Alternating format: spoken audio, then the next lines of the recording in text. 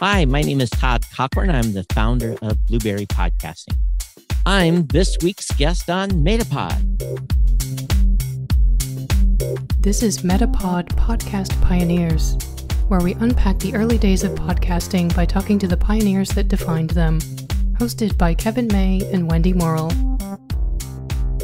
Before I went into podcasting, I worked as, well, I was in the Navy for 25 years. So active duty service, retired in 2007.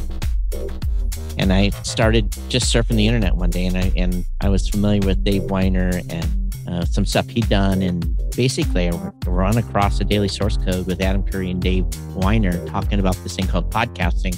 And boy, boy, it sucked me right in. My first podcast was in 2004, and it was about the tech industry. Matter of fact, it's still going, Geek News Central. The industry was exciting. It was basically pioneer days. We were making stuff up as we go. We really didn't know what we were doing, but things progressed very, very quickly. And, you know, in the early days, it really was this group of geeks and hardcore people that wanted to create media and hardcore audiences that wanted to listen to the content. Yeah, winner, winner, chicken dinner. yeah, I don't know why that I, I it's one of those one of those phrases that pays.